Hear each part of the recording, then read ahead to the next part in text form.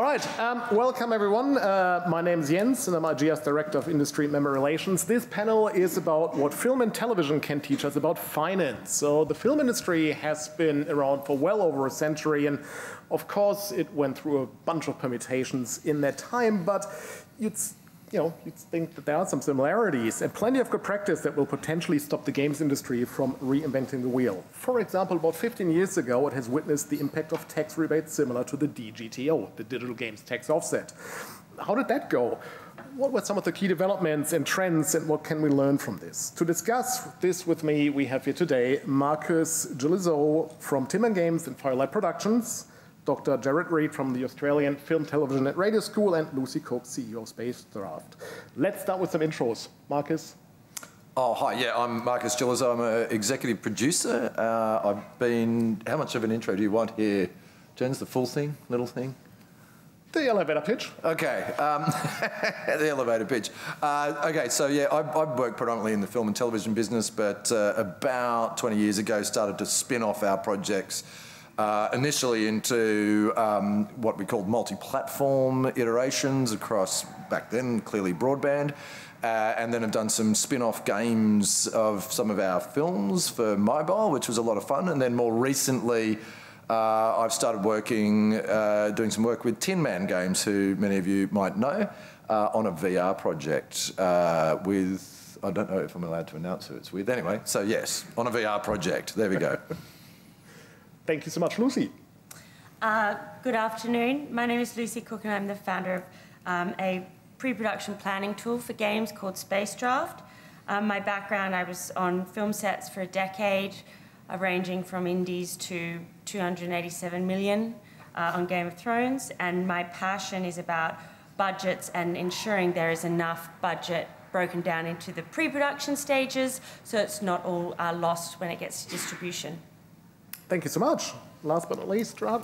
Um, my name is Gerard. I'm, um, I'm a senior lecturer in screen business at the Australian Film, Television and Radio School.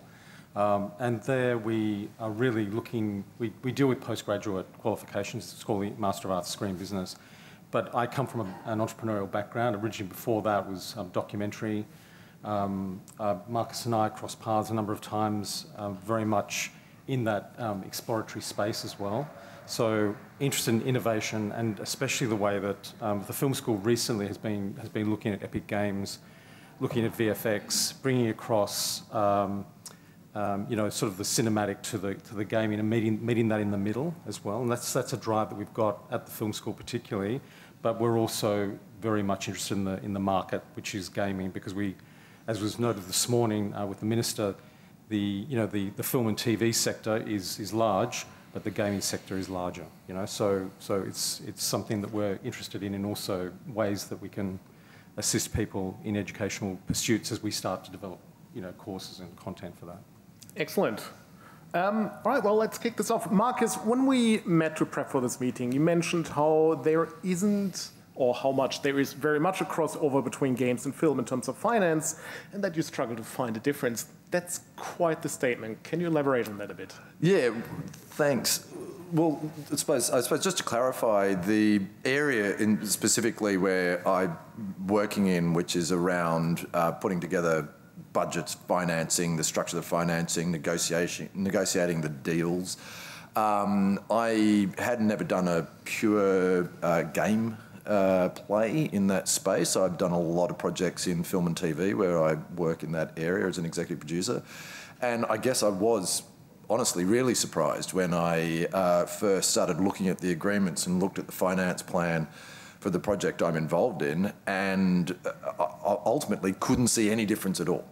Uh, the um, if you look at a publishing deal, we call it a distribution deal. There's uh, clearly private uh, money comes in in some form, often in uh, films, that's reinvestment from the production company, or in this case, the game developer. Uh, but also, the way I got involved in this project is I do a lot of work around the producer offset and helping companies with working out how to ensure they're actually going to be able to make a successful claim on the producer offset. And when the digital games tax offset was first announced, it was seemed to me like a really cool idea to then see if we could use the digital games tax offset in the same way we use it in the screen industry. And so when I met uh, Neil uh, Rennison from Tin Man Games and said, this is how we use it, we realised straight away that what we could do is actually knowing that we were going to get the 30% rebate, we could borrow that money and cash flow that into the project. And of course, it then has a compounding effect as well. So, uh, so that's we've been doing that for a long time in the screen industry. But interestingly, it took us a good year or two to really work out how to do that successfully. So, can I just give a qu very quick explanation of the basic yeah, principle? Okay, yeah. let's just make a budget a million dollars so it makes the numbers really easy. Um, at the moment, before the offset digital game tax offset came in, you actually had to go and raise a million bucks, and that was that. You might be able to get some research and development rebate on the research and development component if you were doing any, but it was quite complex. complex. It was certainly very difficult to borrow against that. Um, and now, if you're doing a million dollar game, knowing you're going to get $300,000 back from the government at the end, you can actually borrow that $300,000 and bring that to the table, which means for investors, be it publishers, government agencies with direct finance or private investors or your own company, you've just de-risked the project by 30%. But also, if you flip it on its head, which is what we then had the big brainwave in the screen industry after a year of we suddenly I went, wow, so if I just say this film is a $10 million film, I can go to market and say, I've got $3 million and I just now need the rest of the money. and that was the big breakthrough, was flipping it on its head, knowing that we would, if you if your project meets the basic criteria, you can actually take that 30% of the budget to market, and that's extremely attractive. It certainly opened a lot more doors than uh, previously when you just went, I've got a great idea, and you have to take 100% of the risk. So, in summary, it, it really changed the mindset and it helped to de risk projects. Absolutely. I understand that um, one of the things that also happened were a lot of joint ventures and partnerships between Australian and international companies. Can, can you talk about that a bit more and, and how, that, how that happened, what, what it meant for the industry? Yeah, absolutely. Look, the, the trigger for the mergers that ended up happening, uh, joint ventures, partnerships, um, collaborations, co-productions. Uh, the trigger for that was very much the realization that you could uh, pitch projects that had a much larger scale because you're able to, you know, take this budget to market, so to speak. Uh, what that meant is companies that we had essentially three tiers of companies companies with revenues under 5 million, companies with revenues about 5 to 15 million or 20 million, and then we just had huge companies with $100 million revenues, and there was about six or seven of those. The second tier companies, there were very few. And for the smaller companies, those third tier companies, it was, it was almost impossible for them to be managing three or four projects simultaneously, let alone one really huge project and two or three others. So we worked out quite quickly that if we then started partnering and getting into co-productions uh, with other companies of a similar scale, suddenly we had the scale to be able to take a project to market and give surety to the investors that we could handle a project of that scale.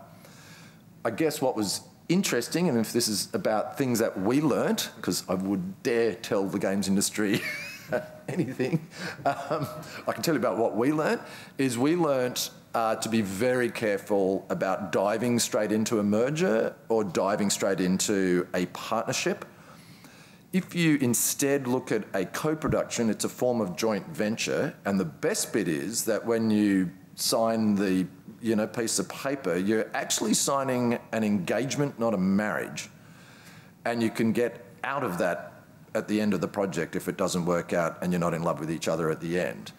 It helps you to then determine what whether your values as producers are aligned with the values of the people you're working with. And if they are, then great, you can start investigating a formal merger or a partnership.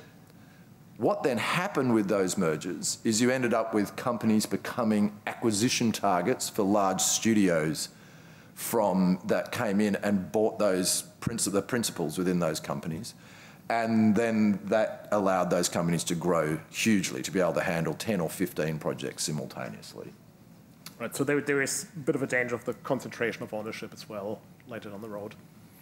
Um, I would say yes uh, to that. Uh, there was a lot of, there was a really interesting thing that happened, and I think the same thing, I guess, might happen in the game sector where Screen Australia then invested a substantial amount of money through the enterprise scheme and effectively trained us up. So we went from being smaller companies who are very focused on the actual project, not on business and management and how to run a large company. By the time you have 25 people, you need to deal with HR and a mm. whole lot of other things. Um, and we, they ran all these enterprise workshops and then they had enterprise funding where they gave up to a million dollars to companies to be able to expand into the international marketplace. They were in the form of part loan, part grant, and that's helped those companies then become, and I, I, if it hasn't already been talked about, I would be strongly encouraging the powers that be at the funding agencies to consider the same sorts of schemes. The issue of the concentration of ownership is possibly an inevitability. Um, and I think as long as the uh, mechanisms for funding out there still recognise mm. the critical importance of very small companies, uh, someone one time said, oh, you know, there's too many production companies in Australia. And I just fundamentally disagree. That's kind of like saying, you know, let's have an Olympic Games, but there's too many people, too many kids running around the track. You know, it's like, well, how do you get great athletes? You have every single kid run around the track until you work out which kids run the fastest. And it's exactly the same. And Hollywood actually operates by having tens of thousands of little tiny operators all feeding in, and they, you know, those projects work their way up the system, and that's how you end up with the, the successes. I met, the, I met at a pitching session one time these two guys who said, "Oh, we've got a really cool idea. Can we pitch it to you?" I said, "Sure," and they pitched me The Walking Dead. Just two guys. They were, they were no production company, so they're really rich now, by the way. yeah, like super rich, and they're suing for an extra hundred mil. So, oh, yeah. yes, Yeah. um, were there some potential ethical pitfalls? I understand that the scheme has potentially attracted some cowboys, and maybe mm. Lucy, that's also something you can comment on, given your long exposure to the to the industry. Mm. Yeah, absolutely. I think thirty percent of a of a project uh, pre-funded. Uh, is very sexy, uh, and you can go away and spend that money really, really quickly without actually building anything. Um, so that's why I think they bring in above the line and below the line expenses as part of that breakdown before you actually apply for that scheme, because not everyone's accepted. Um, on, on that, I think what to, to your point about the traditional ways of, of fundraising for film, at least everyone knows what a film is. You go there, you sit there, you watch it, it's done. But with gaming, when you're kind of trying to get budget for digital twins or all kinds of immersive, interactive, experiential content, there is that question of is this a game or is this not a game? And mm, I mm. think there are some other grants like the Export Market Development Grant, the AC grant that games can actually also apply for that traditional film and creative content mm-hmm. you can't apply for. Mm-hmm. So it's about how to pitch that, um, the, the concept of what it is that you want funding for. Mm. And in traditional film and TV, we always had a script that you could then distribute and get funding for that content before it was mm. made, but now it's just there's so you know what stage of the game is it at? How much money do you need to finish it off versus you know mm. green light it? There's it's just there's there's less clarity around the expectations of how far pregnant are you in this concept. Mm. Does that make sense? Yeah, I think absolutely. I think the some of the you know my observations around I mean, a lot of money needs to go into development for a film or television project, but it still only represents 2 to 3% of the total budget. Yeah.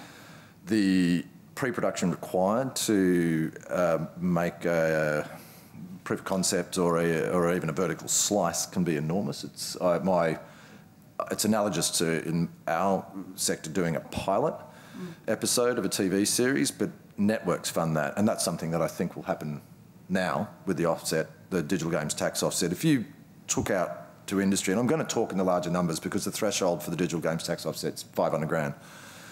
If you went out to industry and said, you know, I, I want $500,000 for you know, minimal viable, sorry, for a vertical slice, for a $20 million game, that's, well, straight away you're actually going out there with a proposition that's only going to cost that company $300,000, $350,000. And if you convert that from Australian dollars into US dollars, you're down to 250,000 US dollars. That's not a huge ask for a company to create a vertical slice where you'll all be funded properly to do it, and you're not expected to take that risk yourself. And certainly, if you actually look historically going back 100 years in the screen industry, there used to be an expectation that you would do pay for everything yourself before a studio would even get involved in the distribution. And clearly that changed. And I that think the same. That happened for indie games, though. Yeah, uh, but I, I'm, I guess I'm anticipating that that will probably change in the same way it did change in the screen industry. So Will only take 100 years. no, no, I think I think everything's going to happen a lot faster because I think the uh, I I think the you know the path has been trodden already. That's why Uh, we're here. Yeah. Yeah, to talk about those those gaps and the bridges and what's similar, right? Sure. Um, yeah, look, uh, th- this, this all feeds quite nicely into the areas that, that I've been dealing with, specifically through research and a whole range of other things. But it's, it's about building equity for producers. And we have, and just to both points, I think the ethics part of it is incredibly important, and also especially as you're starting to, to form industry relationships. Um, but also the ecosystem that you're, in, you're involved in has to have a large churn. I mean, what Marcus was talking about, what you were talking about, is that, that, that idea that, um, that you've got, uh, you know, innumerate sort of entrants um, that seems to be overwhelming at the beginning. That's very, very natural in the life cycle of, of sort of a new opportunity or new technology merging with some sort of hybrid innovation or whatever, whatever it is in that context. So, but the producer offset, when it was, when it was established, was to actually um, build up equity for producers because producers were, were missing out. Everyone assumes that producers make a lot of money. They don't.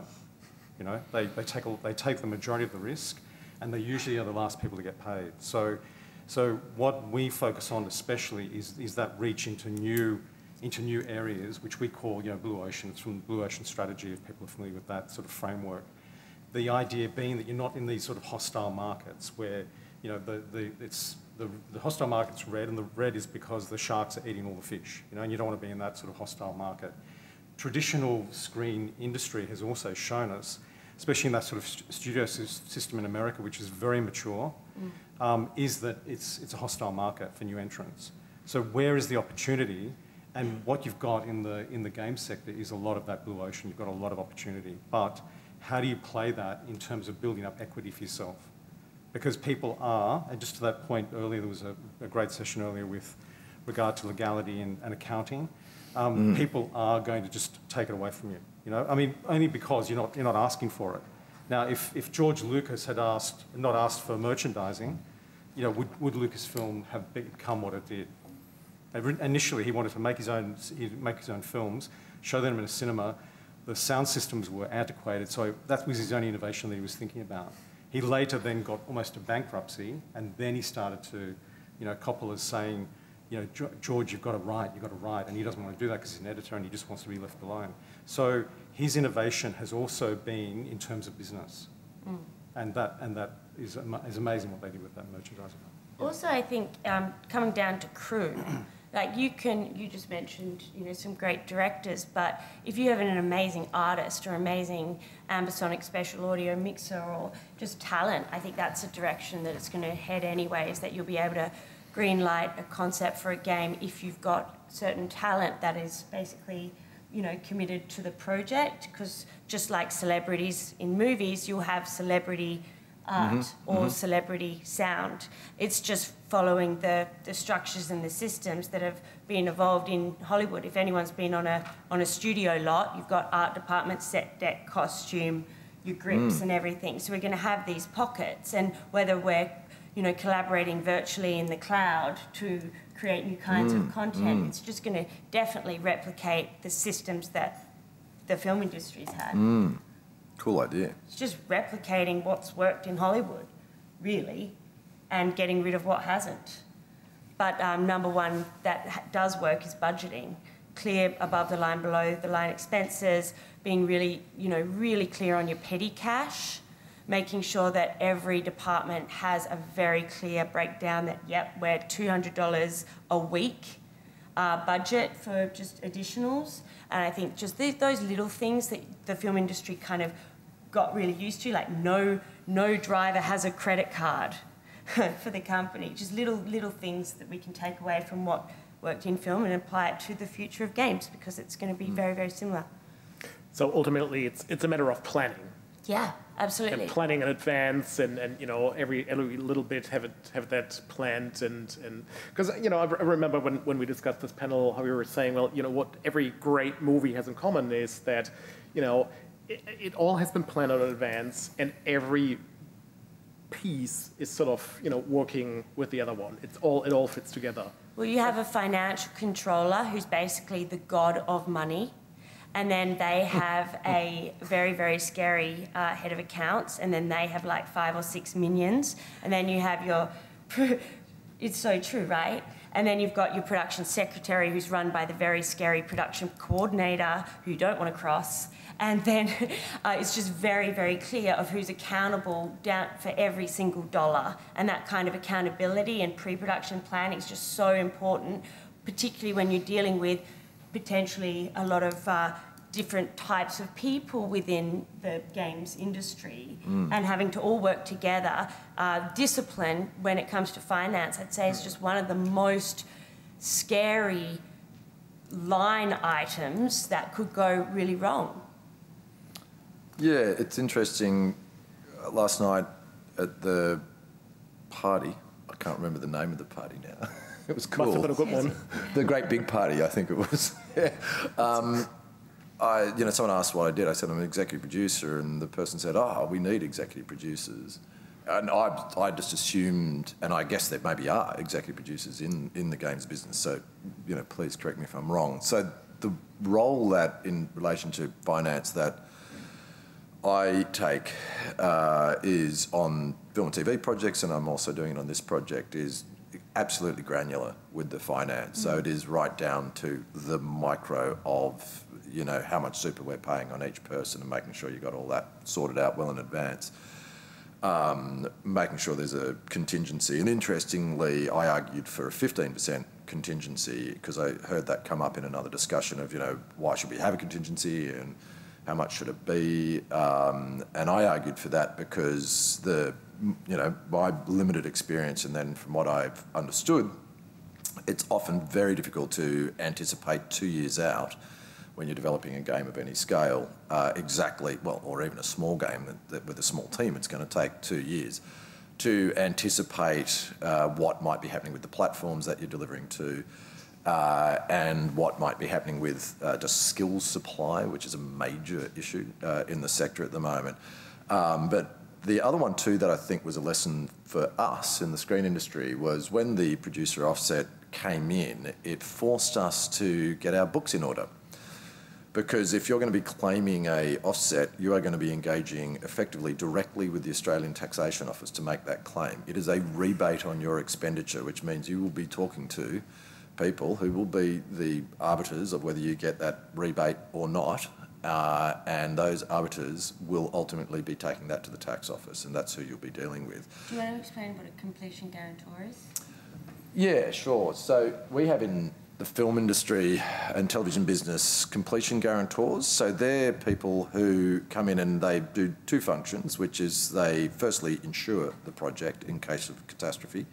And the second thing they do is they actually monitor the project the whole way through. So a simple example of a completion guarantor's role is they will be looking at the weekly cost report. So we, uh, on the game I'm involved in, we cost report regularly and I track the variances within that cost report to ensure that the burn rate of the contingency is in line with the actual cash flow of the project and the rollout of the and the actual development of the project and the milestones. So to simplify that, if we've gone and burnt already half the contingency before we've even got a vertical slice, we've got a problem because there's still three quarters of the you know development process to go by the time we get through, you know, alpha and beta and, you know, minimum viable product and so forth. So a completion guarantor will look at that burn rate and will get really involved with the producer and the production team and the director and the creatives and so forth. So That's effectively what I am doing uh, on this project and bringing those skills to bear, which are, you know, project planning skills that could be utilised in any sector, really. Uh, but getting your books in order, uh, I'm just going to make one really simple thing pay tax. I know that sounds really crazy, but if you don't pay tax, you will have a big problem. And because you are now going to be exposing your books to the tax office, and it's way, if you have to pay tax, you've got a good problem, yeah? because it means you're making a profit. So make sure you pay all your workers' tax, make sure you pay all your super, make sure you have all your holiday pay sorted for everybody. Uh, make sure if you've got people on full-time contracts that you've got they're on the right award so you don't end up with them coming back and making a claim on you. Um, but most importantly, pay your tax because otherwise when you go to do your producer offset claim, the first thing they're going to do is if it was a million dollar project and a $300,000 claim, they will deduct the tax you owe from that claim. And you will have a massive problem with the lender that you borrowed the $300,000 from. Was that too dramatic? No, I think that made it pretty clear. No one's going to uh, like me. You know, Pay tax. Unambiguous Come on. message. that, that, that's definitely not a popular thing to say. Pay tax, but we learnt we had to do this in the screen industry, and a lot of people learnt the hard way when they ended up in serious, serious trouble. So, in fact, companies went under. Yeah, fair enough. Um, I mean, Lucy, as someone who's um, crossed into the game space, um, do you feel that maybe the interactive aspect of making a game poses a bit of a challenge in this respect? You know, in terms of, let's say, bugs, in terms of user feedback and all of that. Like, you know, when you make a movie, chances are your camera is going to work, you know, and, and the, the final product, um, the end user is going to engage differently with it. Whereas, you know, an interactive product, there may be bugs, there may be delays, there may be, you know, you find that through user testing it's not as engaging, so therefore they're higher cost. Does that pose uh, an extra challenge, given that it's not as straightforward as, as film production, particularly after, you know, more than 100 years of practice? Great, great, um, Jens. I think we're a little bit more rehearsed due to visual effects. So if you're on a movie you know, like I was on Gods of Egypt for two and a half years, we had 15 vendors with, like, we've got Rising Sun, we've got Rodeo, we've got Framestore, we've got ILM, like all the big studios, they're all just punching out visual effects and 3D assets all the time. And so I think, you know, we've been quite mm. rehearsed in that, uh, that discourse between the technical evolution of a, of a script and then the physical. Mm-hmm. I think it's more the game side that, um, that are finding out more and more how important the fundamentals of narrative are, mm. um, which is what the script was designed for. You don't just bring all the actors together in cameras and say, all right, everyone, improvise.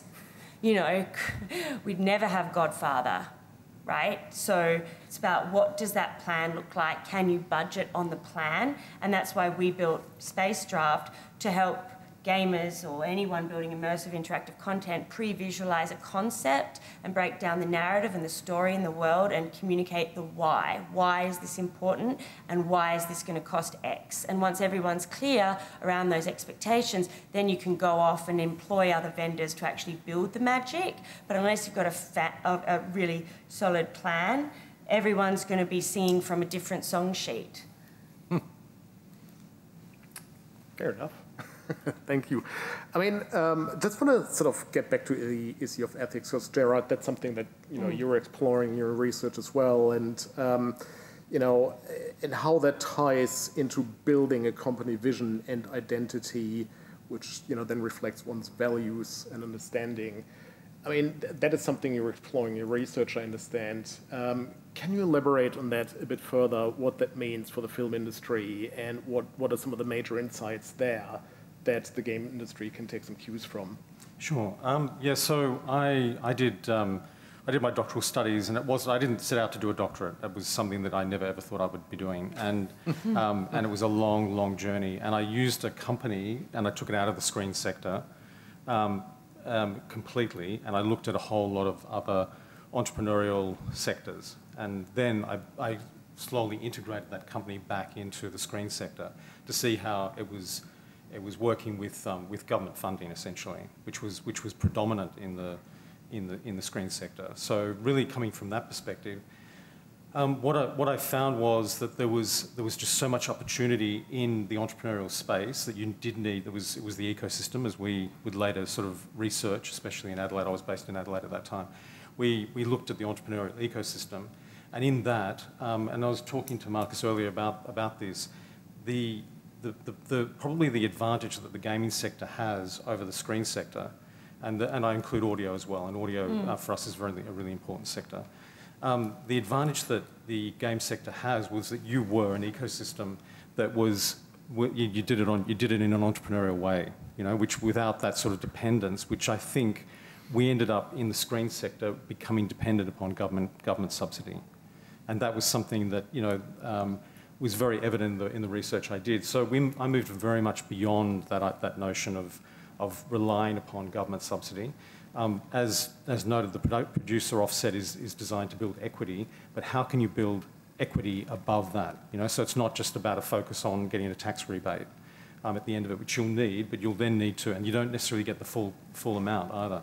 So, and you've got to then dole it out. So you're building equity into, into the IP that you're creating or managing. You might, be, you might, you might acquire IP. Um, but the, the really important point with, with IP is that what are you going to do with it? It's valuable. Mm. I, I, how are you going to organise that? And what's, what are the values that you take not only to the creation of that IP, but to the, to the, the collaborations that you have with other people in that ecosystem that you work in?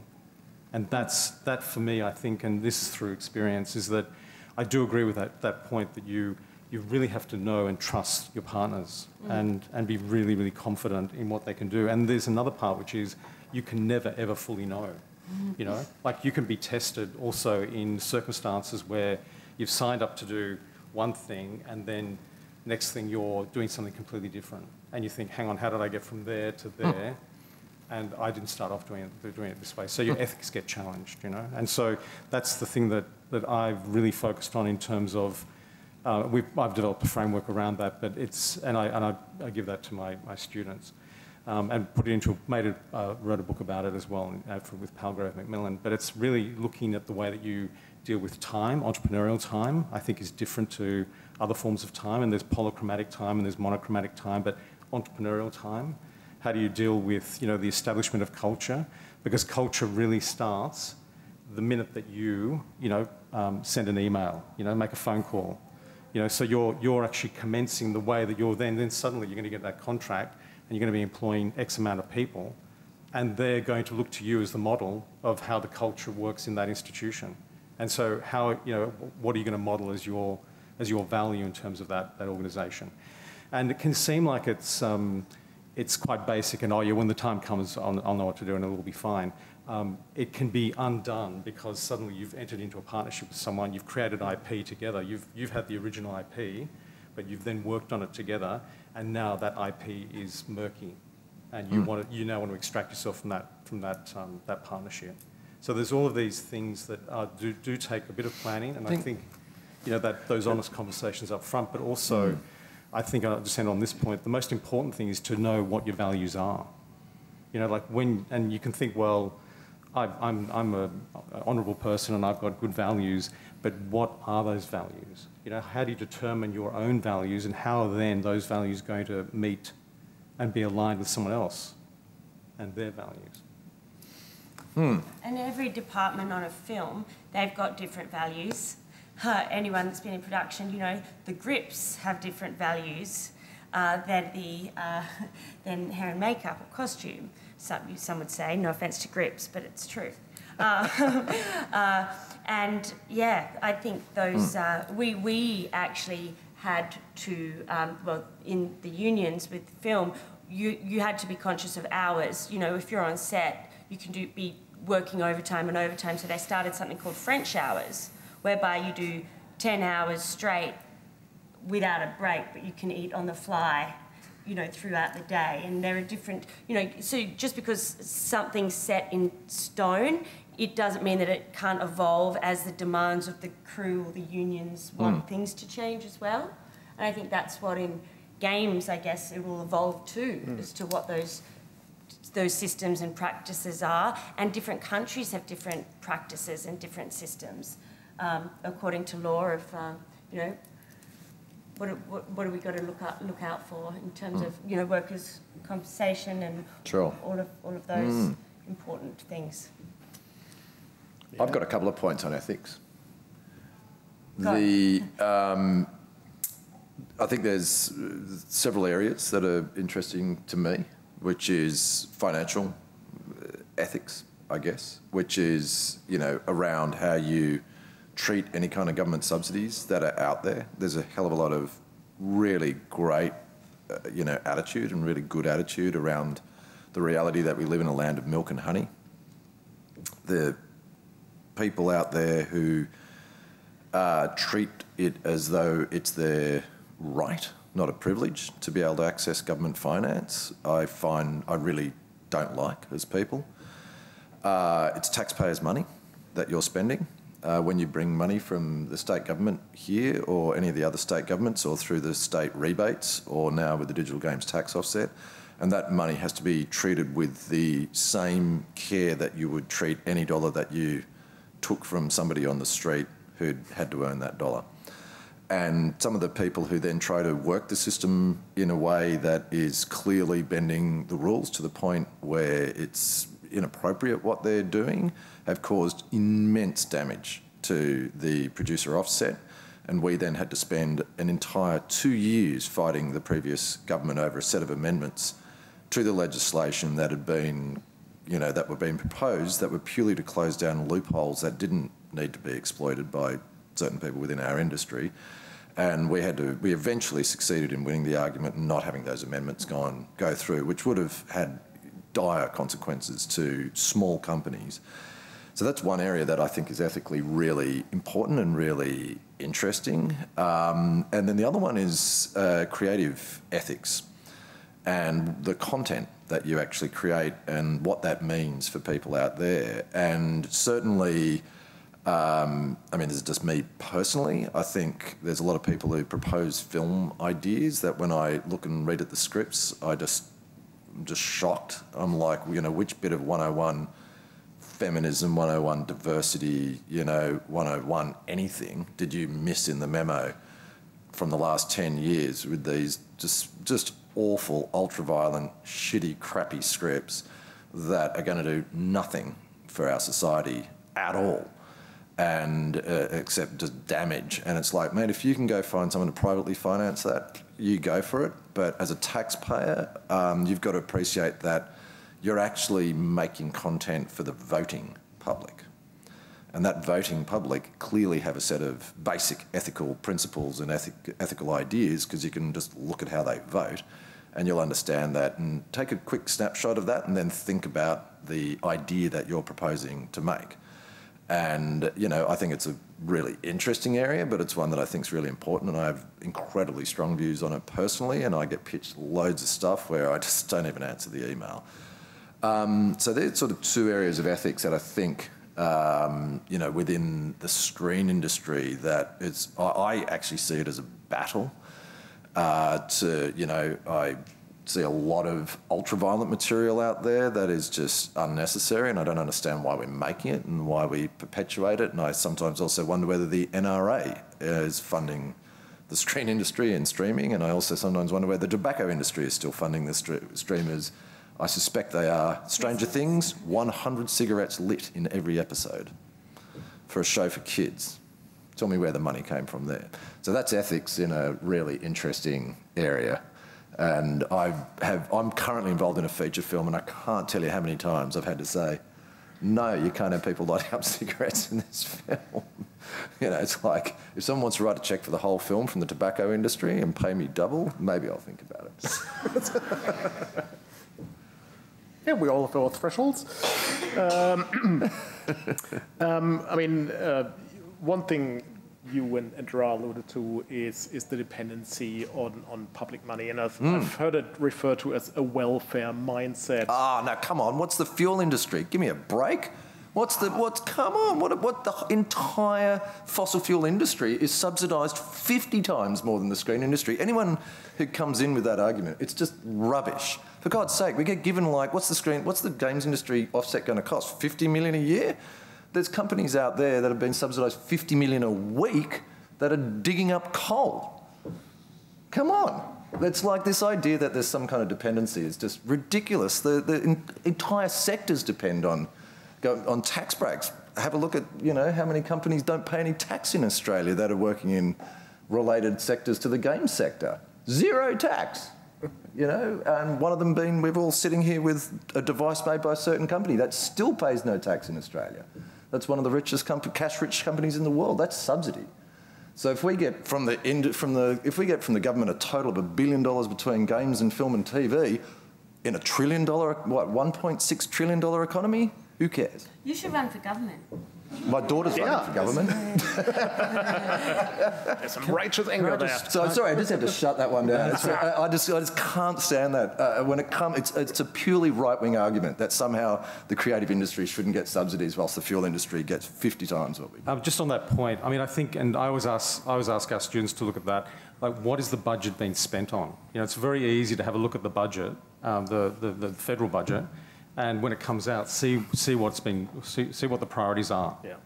And then you can sort of see. I mean, I, have I've sort of fa failed to even find the screen sector on it sometimes. You know, it's so, a rounding error. Yeah, yeah. So, yeah. but I mean, it's in that context. You also think because there is that idea. Well, you know, um, we're underrepresented. You know, there's a whole whole range of things that policy should be doing, but the government of the day is running the country. And so if they're running the country, what are they spending the money on? These are the priorities. And look at it, and you sort of get a, a fairly good idea. And then I think it's, you understand also then how that then feeds into Screen Australia's priorities. Mm. I hmm. think we, uh, we recently had someone who came and spoke to us from Screen Australia, and uh, it was great because he'd been an independent producer. He could talk to both sides of that, and he could also talk to the things that they were looking at amending within, within Screen Australia that were trying to facilitate, because what they're, they're actually trying to support the screen sector, whereas a lot of practitioners were feeling that they weren't. Hmm. We're just having this conversation. I haven't been in a room where there's been this topic. I mean, how great is that? Yeah. We've got Screen Screen West, we've got Screen Australia, we've got games people like. Yay!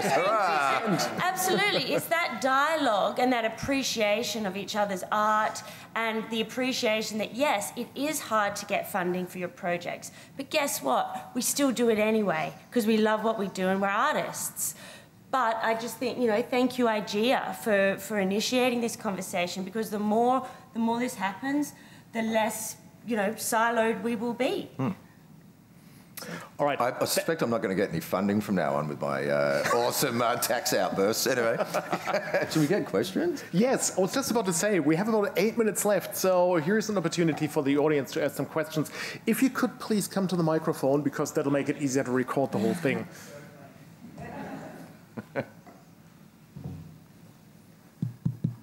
Hello. Um, quick question about predictability. Um, so I've never made a movie, but I've made games. The challenge, I think, is how predictable it is to ship a game on time, as we've seen in the news time and time again. I don't see the same kinds of news in movies. Uh, obviously, the financing comes hand in hand with that. How predictable is it to make a movie versus making a game? And could that explain some of the challenges that we've talked about today? Yeah, it, that, that, that's actually a good point, and sorry, because that's what I was kind of referring to, Lucy, when I asked about the yeah. interactive, interactive aspect yes. of making something, yeah. you know, because film, yeah. with the established procedures, established technology, you know, what, what is what difference does the interactive interactive aspect make? So I think it's worth exploring that. part of a yeah. Once it's released, development continues. The mm-hmm.